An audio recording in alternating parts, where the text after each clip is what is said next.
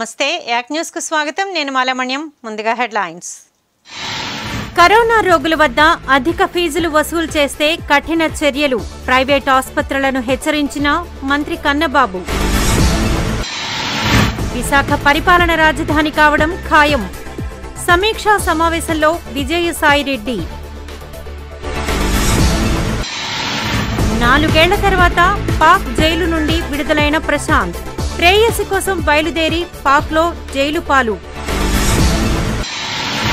ఏం సాధించారని వైసీపీ రెండేళ్ళ సంబరాలు. జగన్ పాలనపై మండిపడ్డ టీడీపీ పాసర్ల ప్రసాద్.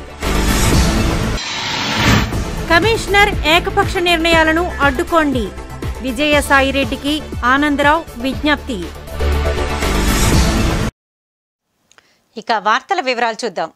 కోవిడ్ నియంత్రణ జిల్లాలోని అభివృద్ధి పనులపై ఇన్ఛార్జి మంత్రి కురసాల కన్నబాబు బుధవారం కలెక్టర్ కార్యాలయంలో సమీక్షా సమావేశం నిర్వహించారు.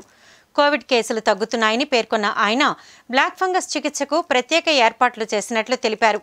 ప్రైవేట్ ఆసుపత్రులు అధిక ఫీజు వసూలు చేస్తే కఠిన చర్యలు తప్పవని హెచ్చరించారు. కోవిడ్ నియంత్రణ చర్యలపై మంత్రి కన్నబాబు అధికారులతో సమీక్షించారు. ఈ సందర్భంగా ఆయన మాట్లాడుతూ పాజిటివ్ కేసుల సంఖ్య తగ్గుతూ పదమూడు శాతం పాజిటివ్ రేటు ఉందన్నారు. ఆసుపత్రుల్లో ఆక్సిజన్ వెంటిలేటర్ బెడ్స్ అందుబాటులో ఉన్నాయని డెబ్బై పైగా ప్రభుత్వ ప్రైవేట్ ఆసుపత్రుల్లో కరోనా వైద్య సేవలు అందిస్తున్నామని పేర్కొన్నారు. విశాఖలో నూట పదమూడు బ్లాక్ ఫంగస్ కేసులు నమోదు కాగా వీటి చికిత్స కోసం తొమ్మిది ఆసుపత్రులను సిద్ధం చేశామని వివరించారు. కోవిడ్ చికిత్సను ఆరోగ్యశ్రీలో చేర్చామని ప్రైవేట్ ఆసుపత్రులు రోగులను అధిక ఫీజులతో ఇబ్బంది పెట్టవద్దని కోరారు.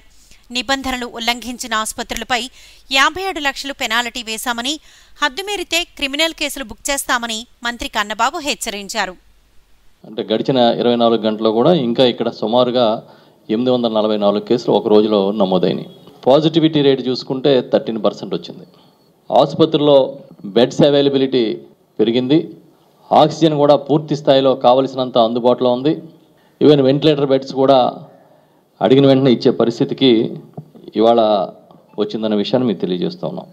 ఈ బ్లాక్ ఫంగస్ మీద రివ్యూ చేసినప్పుడు ఇప్పటి వరకు విశాఖపట్నంలో నూట పదమూడు కేసులు నమోదైనవి భవిష్యత్తులో దృష్టిలో పెట్టుకుని బ్లాక్ ఫంగస్ ట్రీట్మెంట్ కోసం విశాఖలో తొమ్మిది ఆసుపత్రులని జిల్లా కలెక్టర్ గారు నోటిఫై చేసిన విషయాన్ని ఈ సందర్భంగా ప్రకటిస్తున్నాం. ఆరోగ్యశ్రీని కూడా కోవిడ్ని ఆరోగ్యశ్రీలో తీసుకొచ్చి వారికి ప్రభుత్వం నుంచి పూర్తిగా ఉచితంగా వైద్య సేవలు అందించాలనే ఉద్దేశంతో ప్రభుత్వం చేస్తున్నప్పుడు ఇటు ఆరోగ్యశ్రీ డబ్బులు తీసుకుని అటు మళ్ళీ వారి దగ్గర నుంచి అధికంగా డబ్బులు వసూలు చేస్తే మాత్రం క్రిమినల్ కేసులు పెడతాం. ఎట్టి పరిస్థితుల్లో దీనికి వెనకాడేది లేదనే విషయాన్ని కూడా స్పష్టంగా చెప్తున్నాం. ఇప్పటికే దాదాపుగా పెనాల్టీలు యాభై ఏడు లక్షలు ఈ ఒక్క విశాఖపట్నంలో వేయడం జరిగింది. ఇది కాకుండా ఆరోగ్యశ్రీ కోఆర్డినేటర్ అంటే ఈ నియంత్రణ ఆరోగ్యశ్రీని సక్రమంగా అమలు చేయనందుకు మొత్తం ముప్పై కేసులు పెట్టడం జరిగింది. ఎనిమిది ఆరోగ్యశ్రీ సంబంధించి నోటీసులు కూడా ఆసుపత్రులు జారీ జారీ చేయడం జరిగింది. ఎట్టి పరిస్థితుల్లో ఆరోగ్యశ్రీ పేషెంట్స్ దగ్గర నుంచి డబ్బులు వసూలు చేయడానికి లేదు. రెండవది ప్రభుత్వం ఏ ఆసుపత్రిలో ఏ ట్రీట్మెంట్కి ఎంత ఎంత తీసుకోవాలి? కోవిడ్కి అనేది చాలా స్పష్టంగా గైడ్లైన్స్ ఇచ్చింది. జిల్లా అభివృద్ధి సమీక్షలో పాల్గొన్న రాజ్యసభ సభ్యులు విజయసాయిరెడ్డి పక్కా ప్రణాళికతో వార్డుల అభివృద్ధి జరుగుతుందని విశాఖ పరిపాలన రాజధాని కావడం ఖాయమని మురికివాడల రహిత నగరంగా విశాఖను అందంగా తీర్చిదిద్దుతామని తెలిపారు. కరోనా జిల్లా అభివృద్ధి సమీక్షా సమావేశంలో మంత్రి కన్నబాబుతో పాల్గొన్న రాజ్యసభ సభ్యులు విజయసాయిరెడ్డి మాట్లాడుతూ పరిపాలన రాజధానిగా విశాఖ తప్పకుండా ఉంటుందన్నారు. సీఎం ఎక్కడ నుంచైనా పాలన చేయవచ్చని చెప్పారు. నగరంలోని తొంభై ఎనిమిది వార్డుల అభివృద్ధికి ప్రణాళిక సిద్ధం చేస్తున్నామని అంతర్జాతీయ విమానాశ్రయం వస్తున్న తరుణంలో కైలాసగిరి నుంచి భోగాపురం వరకు ఆరు లైన్ల రోడ్లు నిర్మించనున్నట్లు తెలిపారు. మురికివాడల రహిత నగరంగా విశాఖను తీర్చిదిద్దడమే కాకుండా ముడసర్ల పార్కుని అంతర్జాతీయ పార్కుగా తీర్చిదిద్దనున్నట్లు విజయసాయిరెడ్డి వివరించారు. కేసుకి దీనికి షిఫ్టింగ్ అనే దానికి సంబంధం లేదు. సీఎం గారు గౌరవ ముఖ్యమంత్రి వర్యులు ఎక్కడ కూర్చొనైనా ఆపరేట్ చేయొచ్చు. ఇక్కడే ఆంధ్ర రాష్ట్రంలోనే కూర్చోవాలని కూడా లేదు విశాఖపట్నంలోనే. ఎక్కడైనా ఇంతకుముందు హైదరాబాద్ నుంచి క్యాపిటల్ మనం ఇక్కడికి షిఫ్ట్ చేశాం. సిఆర్డిఏ భూములకు సంబంధించి ఆ సిఎంఆర్డిఏ చట్టాన్ని గురించి ఆ కేసుకి దీనికి సంబంధం లేదు. ఇక్కడ ఎగ్జిక్యూటివ్ క్యాపిటల్ ఇక్కడికి తరలించేదానికి ఏర్పాట్లు జరుగుతాయి. అతి త్వరలో క్యాపిటల్ని ఎగ్జిక్యూటివ్ క్యాపిటల్ని విశాఖపట్నానికి షిఫ్ట్ చేయడం జరుగుతుంది. మీరు డేట్ అడగొద్దు త్వరలో జరుగుతుంది. ప్రధానంగా ఇక్కడ విశాఖపట్నంలో ఉన్నటువంటి పార్కుల్ని మనం గత ఎన్నికల్లో ఏదైతే హామీలు ఇచ్చామో ప్రతి వార్డులో కూడా ఉన్నటువంటి పార్కులు ఉన్నటువంటి వాటర్ బాడీస్ని ఎక్కడైతే డ్రైనేజెస్ రీటైనింగ్ వాల్స్ అన్ని కొలాప్స్ అయి ఉన్నాయో ఆ రీటైనింగ్ వాల్స్ అన్నిటిని తిరిగి కట్టించడం. ఆ తర్వాత ఈ మురికి నీళ్ళన్నీ కూడా సముద్రంలో కలగకుండా వాటిని ప్యూరిఫికేషన్ ప్లాంట్స్ పెట్టడం. ఇవన్నీ కూడా వివిధ కార్యక్రమాలను చేపట్టడం జరుగుతుంది. ప్రతి వార్డుకి ఉన్నటువంటి తొంభై ఎనిమిది వార్డులో వార్డు డెవలప్మెంట్ ప్లాన్ అని చెప్పి తొంభై ఎనిమిది వార్డులకి ఇంచుమించుగా తొంభై ఎనిమిది అభివృద్ధి ప్రణాళికల్ని రూపొందించమనని చెప్పి మన గౌరవ ముఖ్యమంత్రి వర్యులు జీవీఎంసీ కమిషనర్ గారిని కలెక్టర్ గారిని ఆదేశించడం జరిగింది. రాబోయేటటువంటి కాలంలో మనం చేపట్టబోతున్నటువంటి భోగాపురం ఎయిర్పోర్టుకు సంబంధించి విశాఖపట్నం నుంచి కైలాసగిరి నుంచి భోగాపురం ఎయిర్పోర్ట్ వరకు సిక్స్ లేన్ రోడ్డు నిర్మాణం విఎంఆర్డిఏ ఆధ్వర్యంలో జరపాలని చెప్పి గౌరవ ముఖ్యమంత్రి వర్యులు నిర్ణయించడం జరిగింది. ముఖ్యంగా ముడసర్లోవ పార్క్ని ఒక జాతీయ స్థాయిలో ఒక మంచి బృందావన్ గార్డెన్స్ లాగా ఒక మంచి పార్క్గా ఒక బొటానికల్ గార్డెన్గా అంతర్జాతీయ స్థాయిలో తీర్చిదిద్దాలన్నటువంటి సంకల్పంతో ముఖ్యమంత్రి గారు ఉన్నారు. ప్రేమ ఖైదీ సొంతింటికి చేరుకున్నాడు. పాకిస్తాన్ చెర నుంచి విముక్తి పొంది నాలుగేళ్ళ తర్వాత స్వస్థలం విశాఖపట్నం వచ్చారు. అనూహ్య మలుపులు తిరిగిన ప్రశాంత్ కథ చివరకు సుఖాంతం కావడంతో ఆయన కుటుంబీకులు కూడా ఆనందంలో మునిగిపోయారు. తాను ప్రేమించిన అమ్మాయి కోసం పొరపాటున పాకిస్తాన్ వెళ్ళి నాలుగేళ్ళ తర్వాత భారత్ చేరుకున్న ప్రశాంత్ విశాఖకు చేరుకున్నాడు. మంగళవారం పాకిస్తాన్ అధికారులు భారత్ అధికారులకు ప్రశాంత్ను అప్పగించిన అనంతరం ఢిల్లీ నుంచి హైదరాబాద్ ప్రశాంత్ వచ్చారు. బుధవారం విశాఖలోని సొంతింటికి చేరుకున్నారు. దీంతో ఆయన కుటుంబీకులు ఉద్వేగానికి గురయ్యారు. అంతా ఆనందంలో మునిగారు. వాస్తవానికి ప్రశాంత్ నాలుగేళ్ళ క్రితం ప్రియురాలు కోసం స్విట్జర్లాండ్ బయలుదేరాడు. రాజస్థాన్లోని బికనీర్ వరకు రైలు ప్రయాణం చేసి అక్కడ దేశ సరిహద్దుల్లో ఫెన్సింగ్ దూకి పొరపాటున పాక్ భూభాగంలో ప్రవేశించాడు. వీసా పాస్పోర్ట్ లేని కారణంగా అక్కడి పోలీసులు ప్రశాంత్ను అరెస్టు చేశారు. నాలుగేళ్ళుగా జైలు జీవితం అనుభవించిన అతను మంగళవారమే తిరిగి మన దేశంలో అడుగుపెట్టాడు. సివిల్ ప్రిజన్ నుంచి వెళ్ళిన తర్వాత ఇండియన్స్తో ము- అక్కడ పని చేయించడానికి ముషక్తి అంటారు ఉర్దూలో ముషక్తి అంటే ప- తెలియదు సజాతో పాటు. అది మనకు ఉండదండి జస్ట్ మనకి ఒక బ్లాక్లో ఉంచేస్తారు. ఆ ఇండియన్స్ అందరికీ సేఫ్టీ కోసం ఆ బ్లాక్లో ఉన్నందుకు ఆ బ్లాక్ క్లీన్లీనెస్ ఉంటుంది అంటే చెట్టు Visakha parliament general secretary Pasarla Prasad budget కేటాయింపులపై నగర టీడీపీ ప్రధాన కార్యాలయంలో ఏర్పాటు చేసిన మీడియా సమావేశంలో మండిపడ్డారు. సంపద సృష్టించకుండా అప్పులు చేస్తూ పప్పు బెల్లంలా ప్రజలకు పంచిపెడుతున్నారని జగన్ ప్రభుత్వాన్ని విమర్శించారు. కక్షపూరితంగా వ్యవహరిస్తూ ప్రతిపక్ష కంపెనీలను మూసివేస్తూ కార్మికుల ఉపాధి దెబ్బతీస్తున్నారని ఆరోపించారు. ఆదాయం పెంచే విధంగా పనిచేయకుండా రాష్ట్ర ప్రజలను ఖజానాను జగన్ నిండా ముంచేస్తున్నారని ప్రసాద్ మండిపడ్డారు. రెండు వేల పంతొమ్మిదిలో ఏ రాష్ట్ర ప్రభుత్వానికైనా సరే ఖర్చు పెట్టే ప్రజలకి పప్పు బెల్లాలు పంచి పెట్టే అర్హత ఎప్పుడు వస్తుందంటే సంపద సృష్టించినప్పుడు. సంపద అనేది సృష్టించకుండా వచ్చిన ఆదాయాన్ని అప్పులు చేసి కూడా ప్రజలకి పప్పు బెల్లాల మాదిరి పంచిపెట్టే ముఖ్యమంత్రి భారతదేశంలో ఎవరైనా ఉన్నారంటే ఒక్క జగన్మోహన్ రెడ్డి గారే. దీనిపైన ఎందరో మేధావులు ఎందరో ఆర్థికవేత్తలు చెబుతున్నా సరే పట్టించుకోకుండా కేవలం కక్షపూర్తిగా వ్యవహరిస్తూ ఉన్న కంపెనీలు కూడా మూయిస్తున్న మహానుభావుడు జగన్మోహన్ రెడ్డి గారు. కొత్త పరిశ్రమలు తీసుకురాలేదు కొత్త ఆదాయం సృష్టించలేదు. కానీ ఉన్న పరిశ్రమలను కూడా మూయించేసే పరిస్థితికి తీసుకొచ్చిన వ్యక్తి జగన్మోహన్ రెడ్డి గారు. రెండు వేల పద్దెనిమిది పంతొమ్మిది తెలుగుదేశం పార్టీ హయాంలో బడ్జెట్ కేటాయింపుల్లో ముప్పై ఆరు పాయింట్ మూడు రెండు శాతం ఎకనామిక్ సర్వీసెస్కి వెచ్చించడం జరిగింది. అదే రెండు వేల పంతొమ్మిది ఇరవై బడ్జెట్లో తీసుకుంటే కేవలం ఇరవై రెండు పాయింట్ ఒకటి తొమ్మిది శాతం మాత్రమే మాత్రమే ఖర్చు పెట్టారు ఎకనామిక్ సర్వీసెస్కి రెండు వేల ఇరవై ఇరవై ఒకటికి తీసుకుంటే ఇరవై నాలుగు పాయింట్ తొమ్మిది ఒక్క శాతం మాత్రమే ఖర్చు పెట్టడం జరిగింది. అంటే ఈ ప్రభుత్వం యొక్క ఉద్దేశాన్ని ఆ బడ్జెట్ రూపంలో తెలియజేస్తుంది.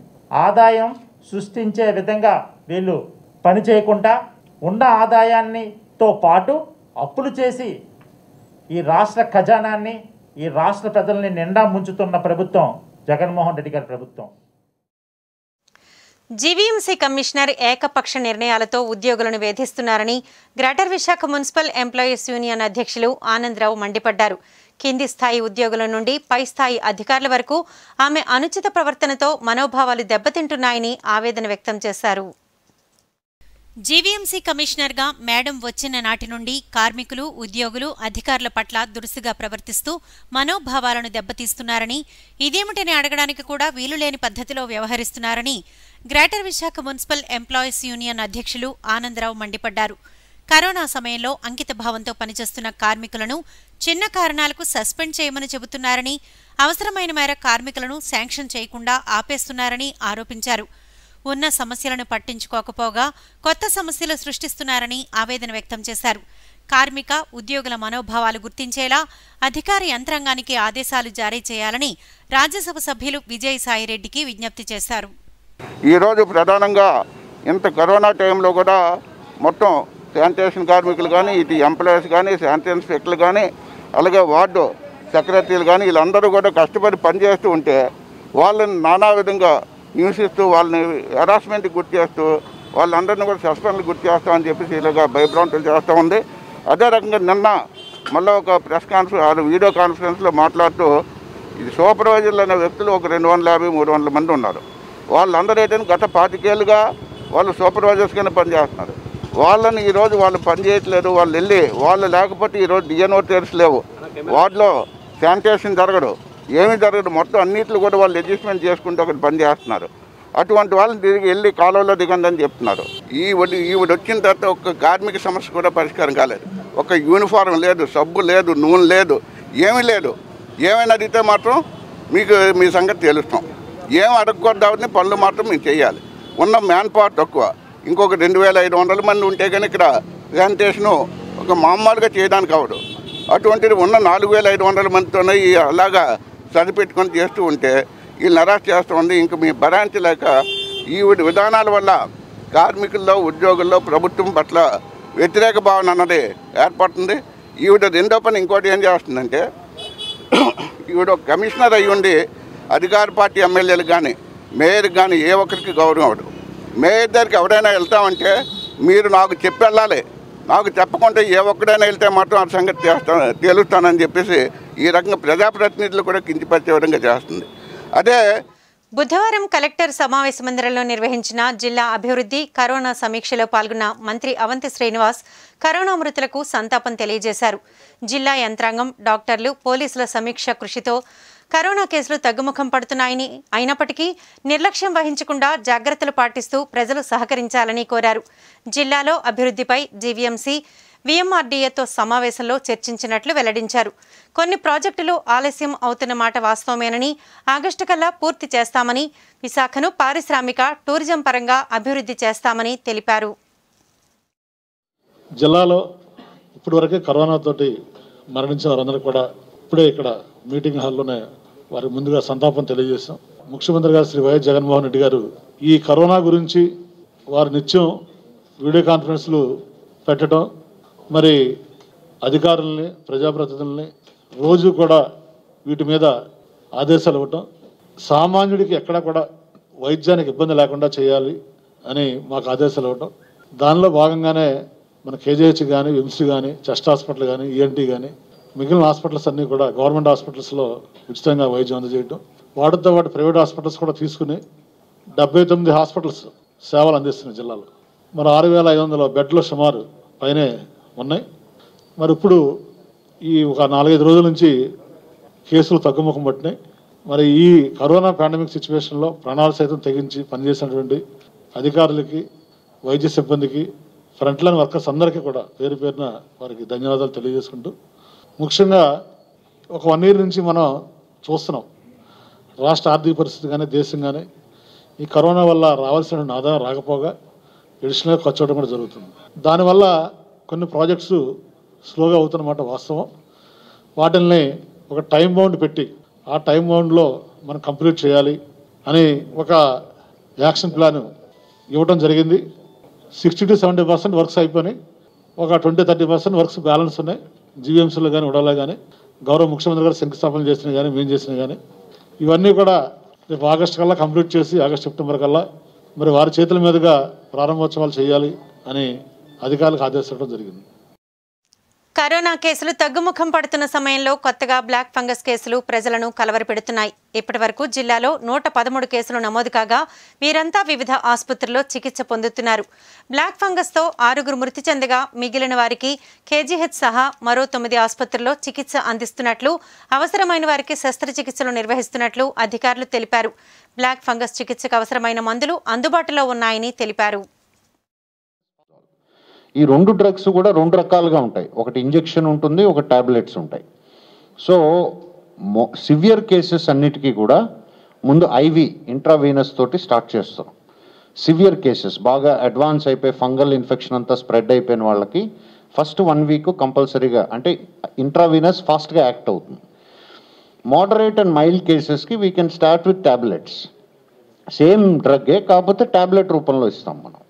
సో ఆ క్లినికల్ ప్రోటోకాల్ అంతా కూడా ఇప్పుడు స్టేట్ గవర్నమెంట్ నుంచి ఫైనలైజ్ అయ్యి అందరు డాక్టర్స్కి ఇవ్వటం జరిగింది. Every morning we're having a webinar ఇప్పుడు గౌరవ ఇన్ఛార్జ్ మినిస్టర్ గారు చెప్పిన నైన్ హాస్పిటల్స్ కూడా అందులో ఇప్పుడు ఆల్రెడీ కేజీహెచ్లో సెవెంటీ టూ పేషెంట్స్ ఉన్నారు. క్వీన్స్ ఎన్ఆర్ఐ అపోలోలో కొంతమంది పేషెంట్స్ ఉన్నారు. సో ఈ ఫోర్ హాస్పిటల్స్ కాకుండా ఇప్పుడు ఎక్స్పాండ్ చేయబోయేటువంటి నైన్ హాస్పిటల్ సూపరింటెండెంట్స్ మెడికల్ ఇన్ఛార్జెస్తో కూడా ఈ ప్రోటోకాల్ని మేము ఫిక్స్ చేస్తే ఆల్రెడీ దానివల్ల మనకి చాలా రిలీఫ్ వచ్చింది. ఎందుకంటే ప్రతి వాళ్ళు బ్లాక్ ఫంగస్ రాగానే మ్యూకోర్ మైకోసిస్ రాగానే యాంఫోటెరిసిన్ యాంఫోటెరిసిన్ అని ఒక ప్యానిక్ క్రియేట్ అవుతుంది. దాని అవసరం లేదు. They can start main line of treatment అది but for more intense and severe cases mild cases moderate కేసెస్కి మనం we can start medication through tablets also so అలా మేనేజ్ చేయడానికి కూడా జేసీ ఆధ్వర్యంలో ఒక కమిటీని ఏర్పాటు చేసాం case by case బేసిస్కి JC development principal AMC and ఇద్దరు medical experts pulmonologist and ENT surgeon వీళ్ళు ఒక డెసిషన్ తీసుకుని వీఆర్ అలొకేటింగ్ ప్రస్తుతానికి we are in a decent come comfortable situation రాబోయే రోజుల్లో will be getting more allocation so in the next one week we should be more comfortable టోటల్గా we stand at about six people అండి. With black fungus about six people have passed away but మొత్తం one thirteen patients are there undergoing treatment Gajuwaka పారిశ్రామిక ప్రాంతం శ్రీనగర్లో నిరుపేద కుటుంబాలకు ఉచితంగా భోజనం నిత్యావసర సరుకులు పంపిణీకి ప్రత్యేక వాహనాన్ని జ్యోతి మహిళా సేవా సంఘం సభ్యులు కోసిరెడ్డి లక్ష్మి కోసిరెడ్డి గణేష్ చేతుల మీదుగా ప్రారంభించారు. గణేష్ మాట్లాడుతూ తమ సంఘం ద్వారా గత నెల రోజులుగా కోవిడ్ బారిన పడిన కుటుంబాలకు మూడు పూటల భోజనం పనులు లేక ఇంటి వద్ద ఉంటున్న వారికి కాయగూరలు పంపిణీ చేస్తున్నామని తెలిపారు.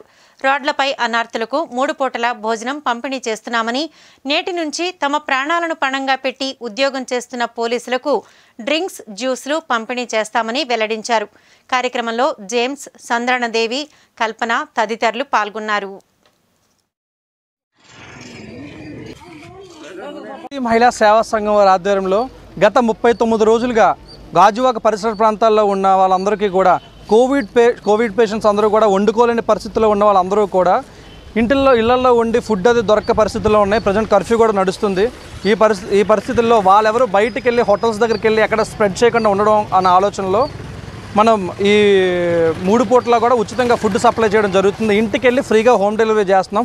దానికి జ్యోతి మహిళా సేవా సంఘం వాళ్ళు ఫుడ్ సప్లై చేస్తున్నారు. వీళ్ళే ప్రిపేర్ చేసి హోమ్ ఫుడ్ మనంతా home food green field organic వాళ్ళు ఇచ్చిన ఐటమ్స్తో ఆర్గానిక్ ఐటమ్ మాత్రమే ఇవ్వడం జరుగుతుంది. అలాగే లలిత గ్రీన్స్ వాళ్ళ ఫ్రెష్ వెజిటేబుల్స్ కూడా మనకి అన్ని అందించడం జరుగుతుంది.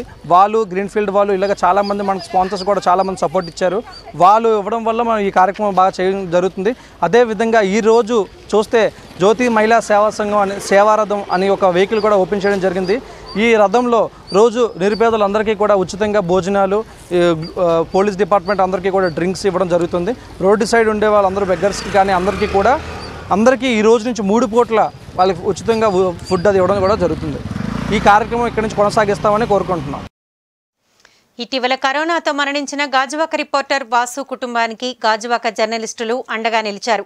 ఆ ప్రాంత వైఎస్ఆర్సీపీ గాజువాక నియోజకవర్గ సమన్వయకర్త తిప్పల దేవన్ రెడ్డి డెబ్బై మూడు వార్డు కార్పొరేటర్ భూపతిరాజు సుజాత ఆర్థిక సహాయంతో ఆ కుటుంబానికి అరవై వేల రూపాయలు అందించారు. ఈ సందర్భంగా దేవన్ రెడ్డి మాట్లాడుతూ గాజువాక జర్నలిస్ట్ అసోసియేషన్ చేస్తున్న కార్యక్రమాలు రాష్ట్రంలోనే తలమానికంగా నిలుస్తాయన్నారు. అసోసియేషన్ సభ్యులకు ఏ కష్టం వచ్చినా అండగా ఉంటానని భరోసా ఇచ్చారు.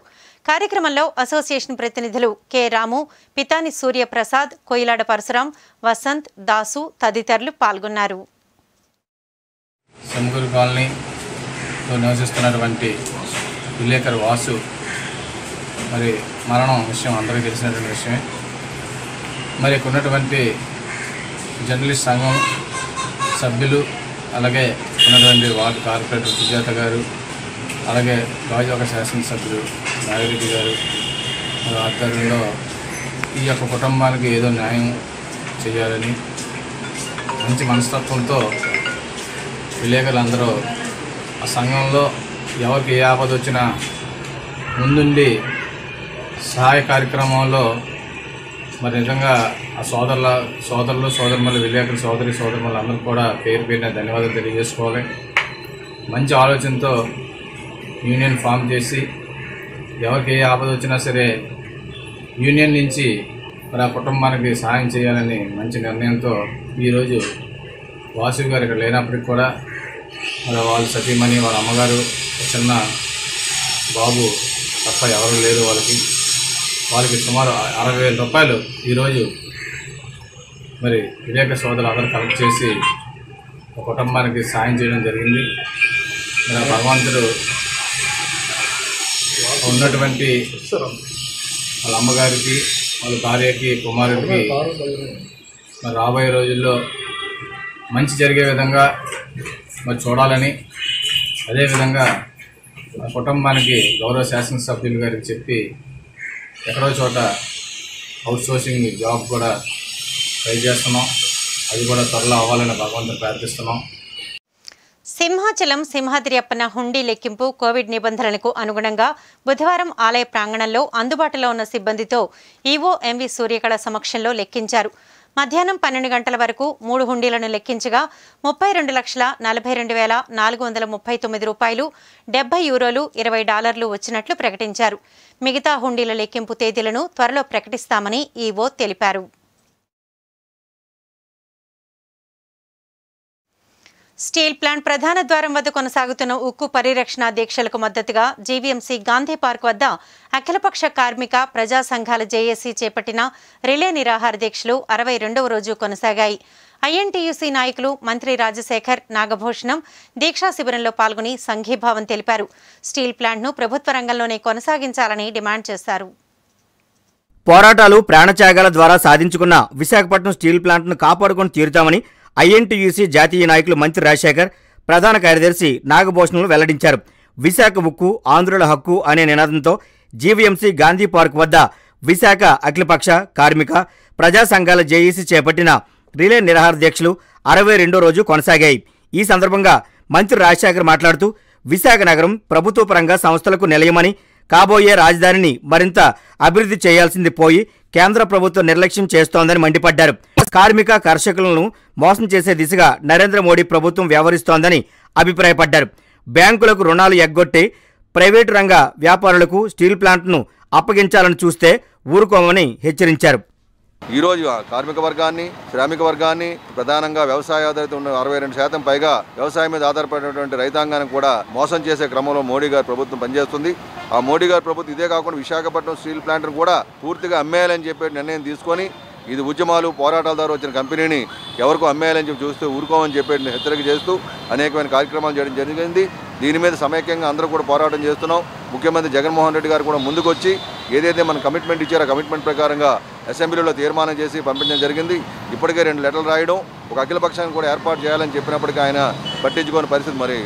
మోడీ గారు ఆంధ్ర ప్రజలంటే ప్రధానంగా తెలుగు వారి తాలూకు గొంతు కోయాలని చెప్పి నిర్ణయంతో వాళ్ళు ఉన్నారు.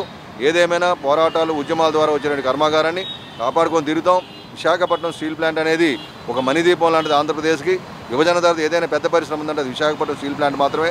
అటువంటి విశాఖపట్నం స్టీల్ ప్లాంట్ ఈరోజు కేంద్ర ప్రభుత్వం తన తాలూకు వాటా ఈరోజు కేవలం నాలుగు వేల తొమ్మిది వందల కోట్ల రూపాయలు పెడితే విశాఖపట్నం స్టీల్ ప్లాంట్ నలభై రెండు వేల కోట్ల పైగా ఈరోజు కేంద్ర ప్రభుత్వానికి పన్నులు లేదా డివిడెండ్ రూపంలో చెల్లించడం జరిగింది. ఈ కంపెనీకి మైన్స్ అనేది ఇవ్వలేదు.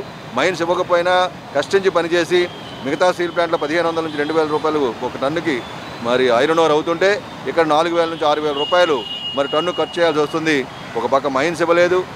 మరి ఈరోజు విశాఖ స్టీల్ ప్లాంట్ ప్రైవేటీకరణ చేయాలని మోడీ ప్రభుత్వం తీసుకున్న నిర్ణయానికి వ్యతిరేకంగా విశాఖ స్టీల్ ప్లాంట్ ఆవరణలో సుమారు నూట ఎనిమిది రోజుల్లో నుంచి వారు నిరార్థిక్ష చేస్తున్నారు.